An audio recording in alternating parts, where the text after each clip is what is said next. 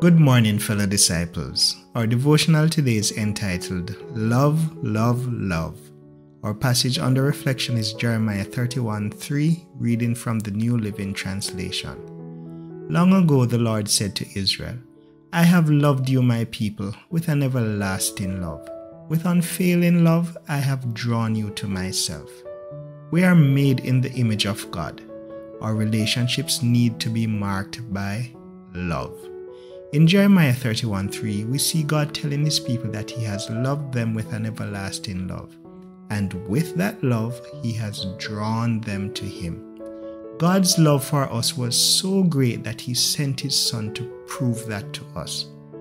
Jesus did not only tell us of the Father's love, but he demonstrated it to us. John 15, verse 9 says, I have loved you even as the Father has loved me remain in my love. We are told that we should worship God in spirit and in truth. We are born of the Spirit of God, and as such, we are His children. We are expected to love Father God and the Lord Jesus Christ. But Jesus also commands us to love one another. John 15, verse 12 says, This is my commandment Love each other in the same way I have loved you.